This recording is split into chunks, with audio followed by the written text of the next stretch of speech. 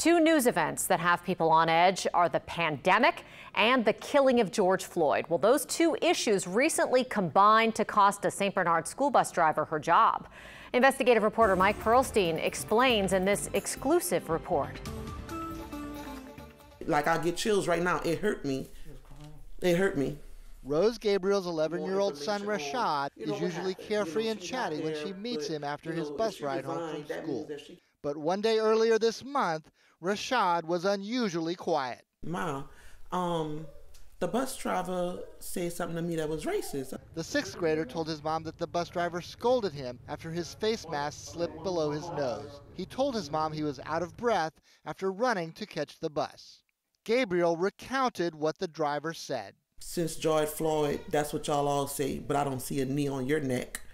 I'm like, are you sure she said that? He said, Yeah, all the kids on the bus heard it. Not only did other kids hear the George Floyd comment, but it was recorded on the bus's onboard camera. I just started crying. I just started crying because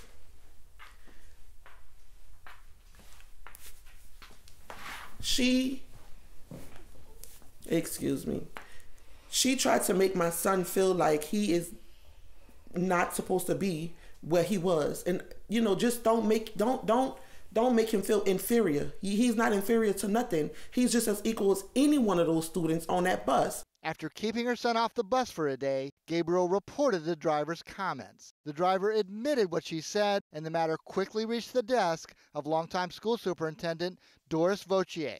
Voitier took swift action. The employee is now out of a job.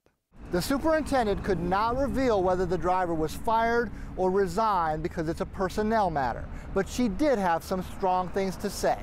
In a telephone interview, Voitier said, quote, she no longer works for our school system. I can't defend that. I don't condone that. What she said is offensive and inappropriate. It was racially insensitive, and we took appropriate action. I know for sure it made me relieved that I know that she's no longer on the bus with my son or any other, you know, body's child. With the controversy now in the rearview mirror, Rose Gabriel said she can concentrate on something less stressful, making her son the happy student he was before. Mike Perlstein, Eyewitness News. And Voitier said she was especially sensitive to the matter because the Chauvin trial was in full swing whenever the driver made that offensive comment.